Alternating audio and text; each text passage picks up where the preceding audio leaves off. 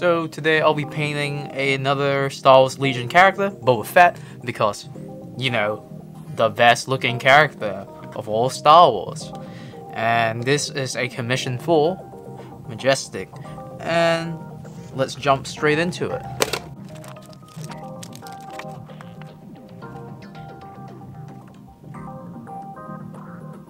I'm gonna blue tack the rod to make sure it stays clear because I'm, I'm personally a huge fan of having clear flying bases. So I'm gonna do that.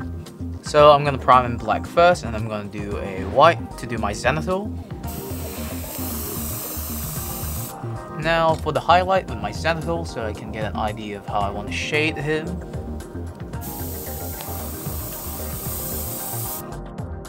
While I have the backpack separate, I'm just gonna glue on the flames. I will have to do another coat of primer because I am a genius. And let me quickly prime the flames. So starting with a paler green, I'm gonna do majority of the helmet because the helmet actually has two colors.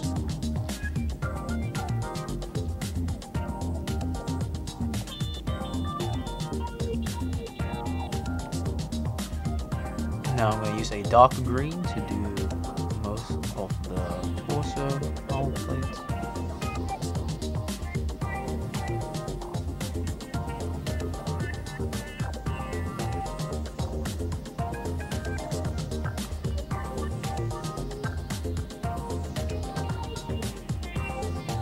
Now for a little bit of green on the helmet.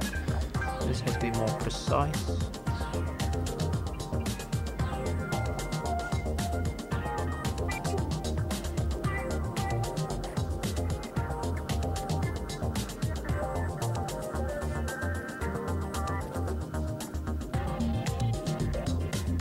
Okay, now I'm gonna do a darker green for the cloak itself. It is very similar looking though. Similar but darker, and I can always shade it and dull down the shade later anyway, so that should be fine.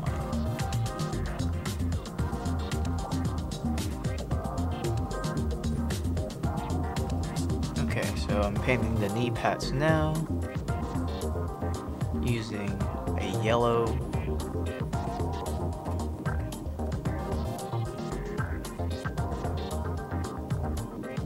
this part of the backpack is going to be yellow as well uh, a bit harder because it is very a very small area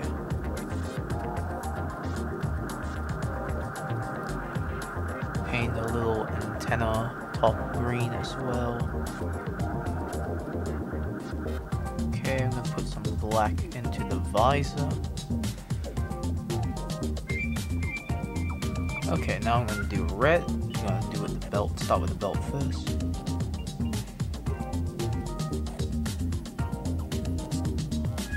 Let me just check the reference picture. The right pouch is actually red as well, so I'm just gonna paint that in.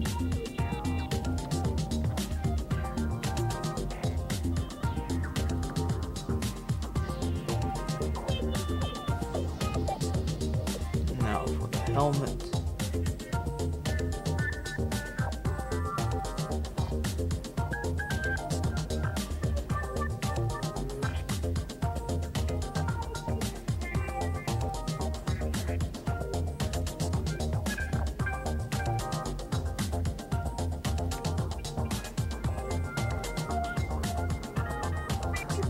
Using an off-white, I'm gonna paint the rope. This is gonna be lightly dabbed on because it's gonna be uh, just a little bit translucent. I'm not too fussed about the paint getting perfect coverage.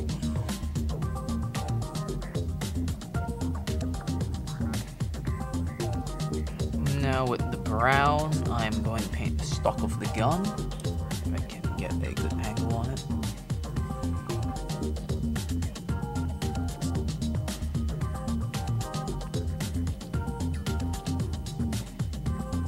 now I'm gonna paint the utility belt brown as well. Or more so the pouches.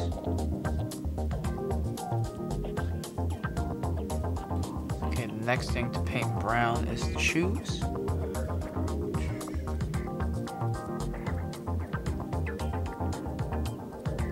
Now I gotta do blue for the backpack.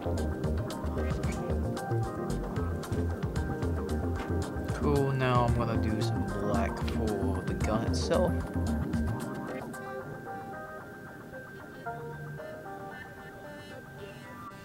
Okay, now I'm gonna do some of the red accents on the jump pack. Let's see if I can get in there without ruining everything. Or ruining anything.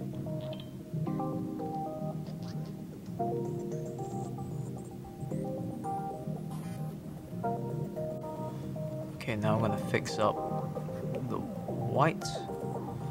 I'm gonna go with a thin coat of ghost gray.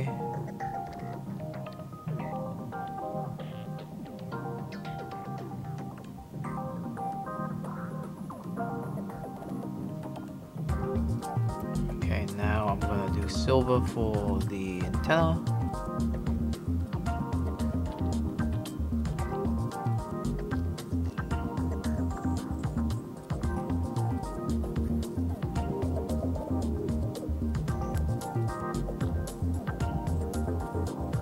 And now I'm gonna paint the missile silver as well. Alright, now we're gonna assemble Boba Fett back so I can do the washes and stuff. Because having him separated was easier for doing the uh, base colors.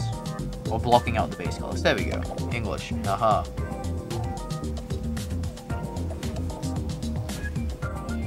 Okay, now I'm gonna do some battle damage before I do my washes. So, for all the stuff that has been chipped, I'm just gonna put a little bit of silver in there.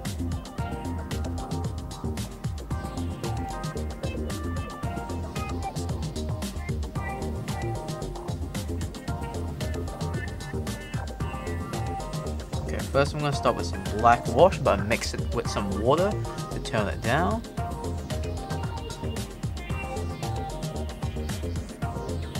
As I want to have a little bit of a shading, but I don't want to overpower it because I don't want it to look dirty.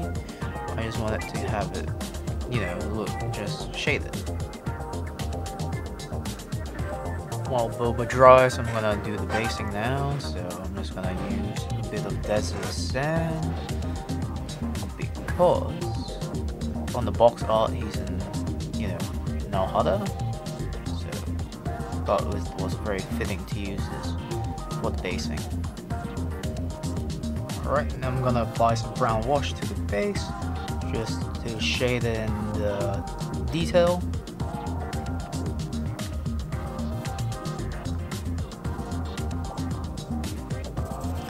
So now I'm gonna do a dry brush to highlight the ground.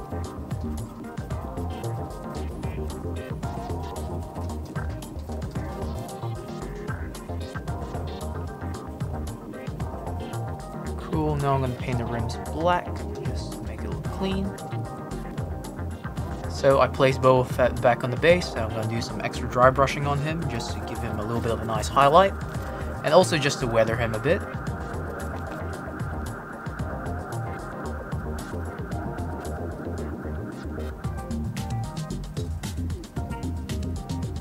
So now I'm going to base the fire from the thrusters yellow. Now I will dry brush the tips orange, just for that nice gradient.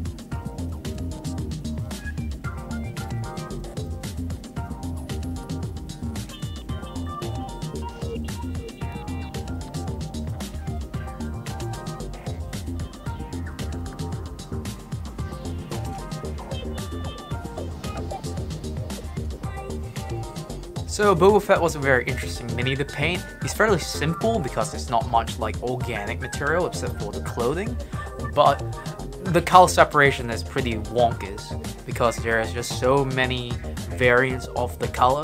For example, there is like green and light green and a darker green for the cape and the backpack has a lot of color separation. But overall, he turned out very nice, so I'm very happy with him. And doing the dry brush really adds to the aesthetic because that's the story I'm gonna give him, like he's a Nal Hutta, or you know, episode 5 where he dies. Was that episode 5 episode 6? Hmm. Star Wars nerds kill me. Basically, yeah, I just wanted him to match the base, so there's like a cohesion between the mini and the base. Thank you for watching this video, and I'll see you in the next one.